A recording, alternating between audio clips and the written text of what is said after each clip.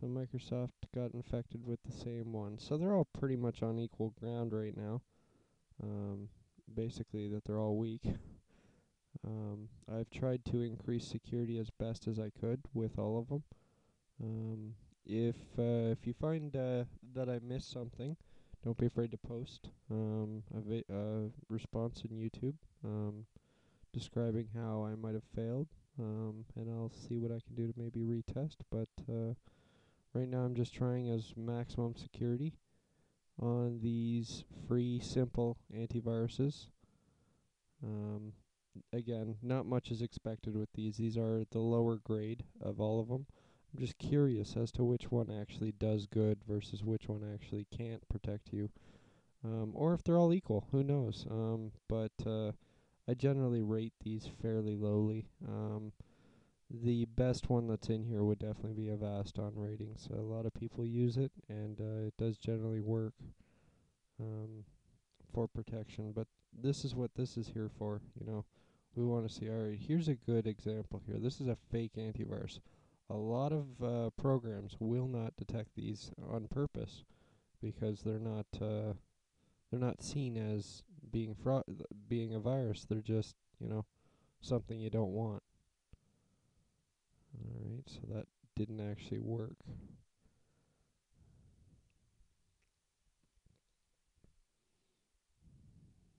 Yeah, so it's uh Alright, well, I'm gonna test that one on all of them then because AVG seems to have found something in that. Alright, looks like Avast stopped it. Looks like Avira stopped it. And Microsoft Security Essentials.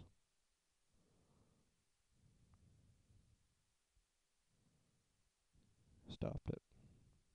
Alright, so sorry about that. That one wasn't really something I was going to largely test, but uh, since it did pop up on the uh, on the uh, um, oh, here's a good one.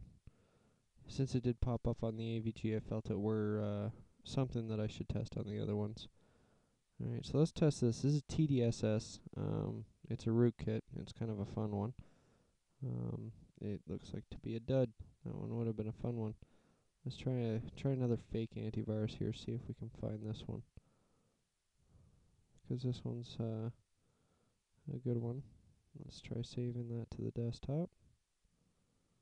Which this is AVG. It seems it has done. I'm gonna run that. Again, they're all running a little bit slow because they're all infected pretty much right now. Which it looks like AVG just got infected. No, okay, no, AVG stopped it, and that was a fake antivirus. So that's actually a little bit impressive in that sense. Um, and the same with Avast. Avast has blocked it. I'm to try it in Antivir. Alright, Antivir has stopped that. See if I try saving it now, it won't. Give me an error. That's good. So, so far for the fake antiviruses, these are good. They're called rogues. Um, generally, they're uh, whoops.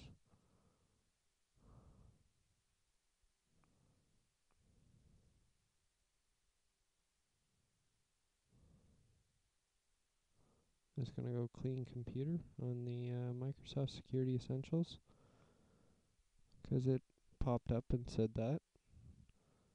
And uh, let's try the next one. That one really didn't do any.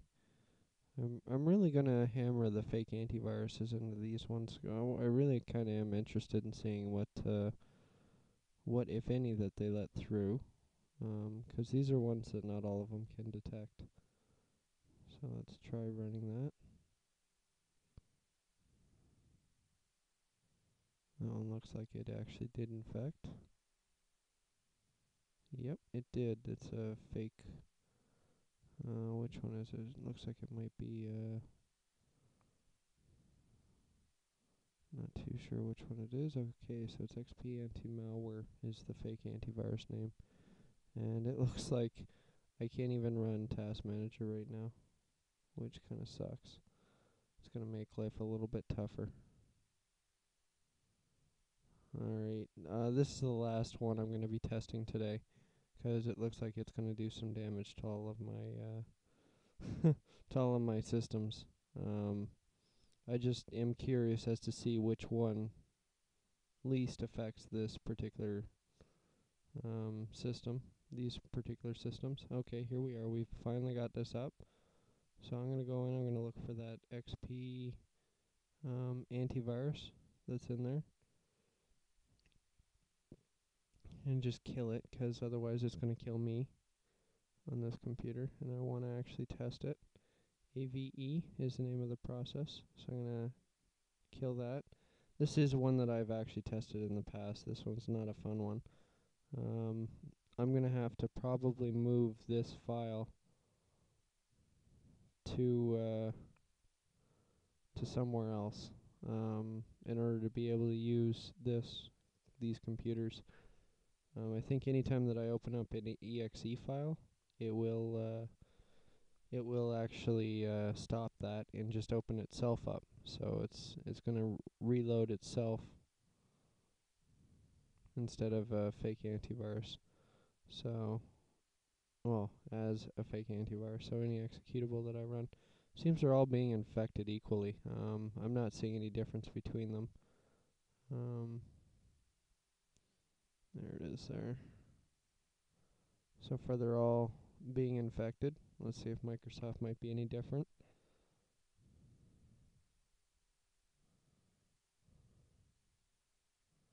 It doesn't seem like it.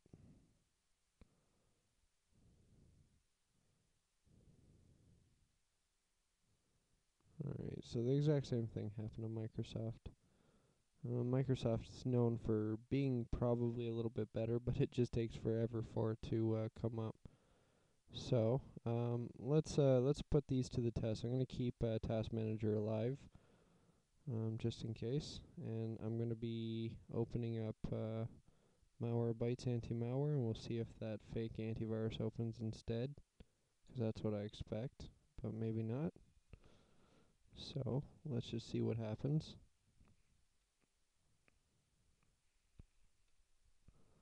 Alright, looks like maybe Malwarebytes might be loading.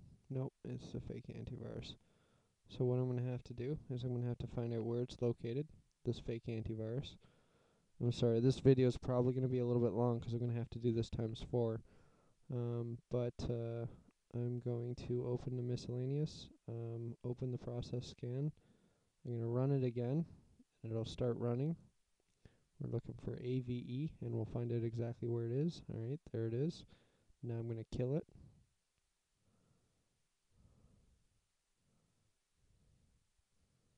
And that way I can find this. So, administrator local settings application data. I'm going to have to view hidden files and folders and system files as well. Actually, with this particular one, it hides it as a system file. Um, so, I'm just going to do that now. And I'm going to do the same thing amongst all of them at the exact same time.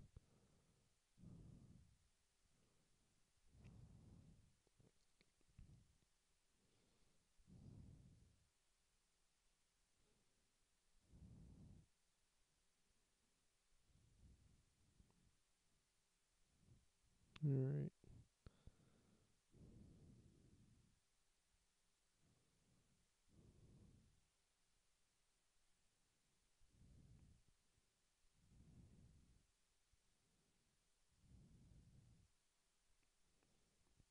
Alrighty, so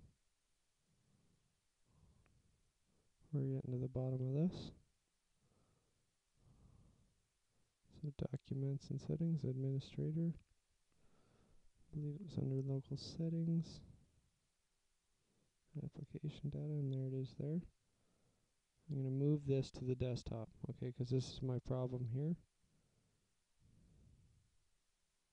Okay, so I've done that for the AVG.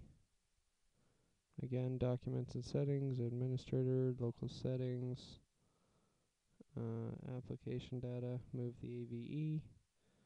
Whoops, sorry. Move. Yes, yes.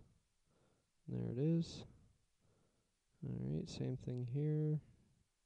Document